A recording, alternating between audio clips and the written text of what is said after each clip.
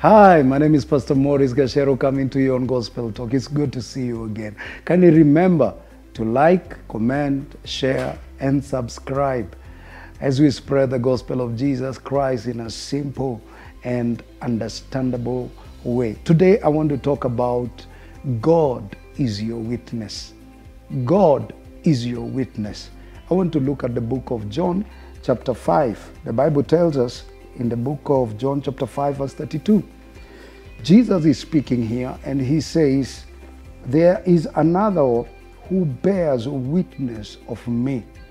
And I know that the witness which he witnesses of me is true. Verse 36. But I have a greater witness than John's. For the works which the Father has given me to finish the very works that I do bear witness of me that the Father has sent me. You see, one, one of the wonderful things about our God is that He does not save us and then leave us alone. He doesn't save us, redeem us, set us free, and then leave us to continue in life by ourselves. After He saves us, He comes to live in us. He comes to empower us. He comes to guide us and lead us by His Spirit. And the Bible tells us another thing is that He came to be our witness, that the Spirit of God is our witness. The Bible says, Jesus speaking, he had been sent to do something, to do a job, and to do a particular work by God the work of revealing the Father and the work of saving the world. And the good thing is that the Father did not just send him and let, let him to come alone, but the Father was always present with Jesus Christ as his witness. Amen. As his witness. I love that. Now, what about me and you? We have come to believe in him. We have accepted him as Savior. We, we, he lives in us. But is he in us quiet? The Bible tells me in the book of Romans, chapter 8, as I read, he says, chapter 8, verse 15, For you did not receive the spirit of bondage again to fear, but you received the spirit of adoption, called the sonship producing spirit by whom we cry out, Abba, Father. The Spirit Himself bears witness with our spirit that we are the children of God. That's wonderful. He says that when the Spirit of God came into you, when the God comes and dwells and lives within you by His Spirit, one of the wonderful things that He does is that He becomes a witness within you that you have a witness within you, together with your spirit, you have a witness that when you cry out, Abba Father, when you worship God, when you talk to God, you talk to God with the witness of the Holy Spirit agreeing with your spirit. That witness is important. He's the one that gives us confidence, He's the one that reminds us He's the one that assures us within that we belong to God. He is the one that always awakens that consciousness that we belong to God. God has become a witness from within. The Bible says there are three witnesses in heaven and there are three witnesses on the earth. That the witness on the earth and the witness in heaven, they agree. And what is that witness saying?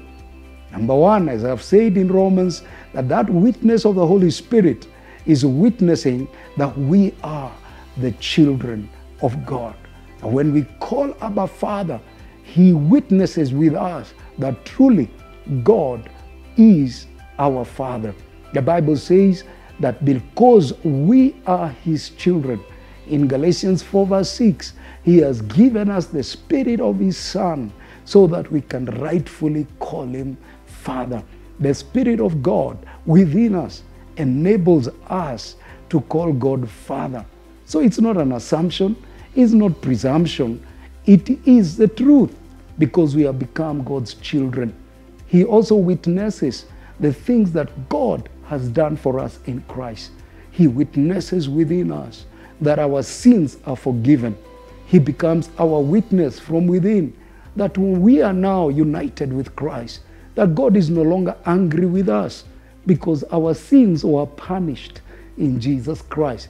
He witnesses within us that God is not a God far away, that God is a God that dwells in His people.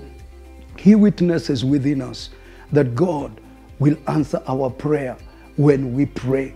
He witnesses within us that we are no longer slaves of fear, but we've been set free, and that God has broken every bondage in Christ. He witnesses within us that we are no longer cursed, but we are received every spiritual blessing in the heavenly places in Christ Jesus. Pay attention to the witness of God.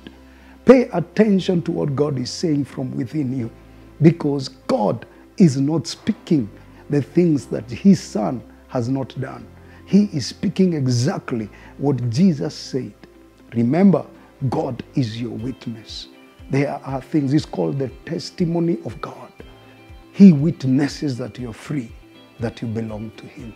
If you're there and you're not born again, you have never accepted Jesus Christ as your Savior, as your liberator, as your deliverer. It's simple. You believe the gospel with your heart and you confess with your mouth that Jesus Christ is Lord and that He has risen from the dead. And it's as easy as that. Let's pray. Father, I have heard about your love and what Jesus has done for me. Today, I accept the work of that cross. I accept the price that your Son paid for me. I accept for his blood to cleanse me and to make me free. I accept your forgiveness. And I ask that that spirit that Pastor Morris has talked about, that wonderful spirit that the Bible talks about, may come and dwell within me and strengthen me and give that witness of freedom from within me. I accept Jesus today. I am saved and I am born again. Amen.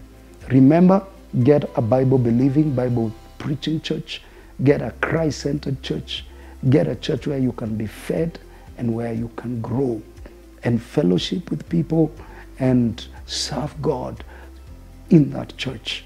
God bless you so much. If you're there and you're sick, let me say a word of prayer. Father, in the name of Jesus, I rebuke sickness, I rebuke infirmity, I rebuke complications in the body of your people.